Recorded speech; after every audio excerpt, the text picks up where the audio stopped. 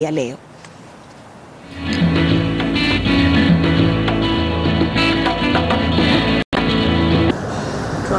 Karibu katika saluni ya D iliyoko barabara ya Ngong jijini Nairobi.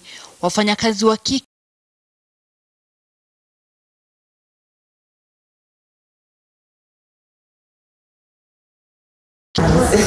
miongoni mwao ni mkurugenzi mkuu wa biashara hii Diana Akech, mke na mama watoto watatu anapokuwa nyumbani, ila anapokuwa kazini anagusa nyoyo sio tu za wateja wake, ila pia watu anawataja kuwa muhimu sana maishani mwake, akina dada waathiriwa wa saratani.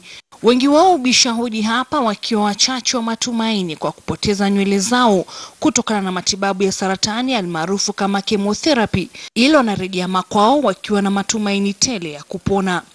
Ilianza karibu miaka nne iliyopita. Uh, kuna rafiki yangu ambaye alikuja akapatikana na, na kansa na nywele yake ilikuja ikamwagika, the whole process, na ni mtu ambaye alikuwa anajipenda sana. Sasa kuna siku alikuja kwa salon akaniambia, Diana, nataka kunarudi kazini sasa, nimemaliza kimo zangu na sina nywele. Ungeona kwamba self esteem yake ilikuwa chini sana. So akakuja akaniambia ki kama ningependa unitengezee wig, tunajua wewe ndio mtaalamu wa hii kazi, so nifanye tu nikae mrembo tena, kwa sababu alikuwa ananiambia hata kwa kioo hataki hata kujiangalia. Unaona, Mwito ulioishia kuwa kilele cha biashara yake ya zaidi ya miaka ishirini. Picha mwathiriwa huyo aliyoipachika kwenye ukurasa wake wa Facebook hakujua ingekuwa mwamko mpya kwenye biashara yake na hata maishani mwake. Zaidi ya kina dada mia nne wamefaidika na mpango wa Diana. Cha mno ni kwamba hawatozi waathiriwa hao hata peni. so wanaambia mtu kama unatembea supermarket ukiona wig moja mbili ongeza kwa shopping list yako, niletee tu hapa kazini, utabariki mtu mmoja mwenye hana.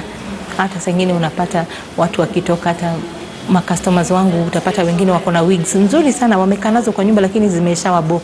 Mtu anakuambia ah, di niko na wigs karibu tano kwa nyumba, situ nikileta unaweza ziosha vizuri zitengeze.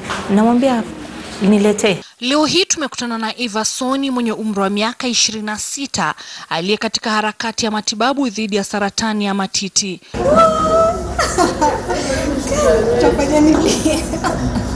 Mwezi huu wa kuonyeshana upendo au Valentine, makaribisho ya Diana kwenye mtandao wa Facebook yalimfikia mama wa mtoto mmoja, ila alidhania kuwa mzaha. Saluni ya Diana imempa sababu ya kutabasamu licha ya ugumu anaopitia maishani. Then you wake up after first chemo, hakuna nywele imetoka. Uko like what? Santa kaaje? Uje imagine hiyo situation. Mm. But now with this wig I feel it's like I have my life back. Pande ngumu sana kwa hii kazi ni kesho unapigiwa unaambiwa, ah, mama aliaga ama dota yangu aliaga. So hiyo kitu imeniaffect imeni affect sana, hata imenifanya inawe mpaka nikakuja nikakuwa na hypertension. Lakini licha ya hayo yote, Diana mwenye umri wa miaka 44 amesimama ngangari. Aidha, anayo maono tele akiwemo kufanya kazi na serikali za magatuzi kuwafikia waathiriwa wengi walio mashinani. Ningekuwa na uwezo, yani in future, ndoto yangu nikuwe na kanyumba tu kule, niko na beddings, mtu anajua amekuja kimo, anaweza kuja hapo alale, spend night, amalize kimo yake, anajua ataenda kulala kwa Dees Center. Bila shaka urembo wa mwanamke ni nywele. Hatua ya Diana Akech kwa baadhi ya waathiriwa wa saratani inawapa motisha wa kuendelea kulisukuma gurudumu la maisha kila kunapokucha. Cecilia Wakesho Madhuva, KTN News, makala ya mwanamke ngangari.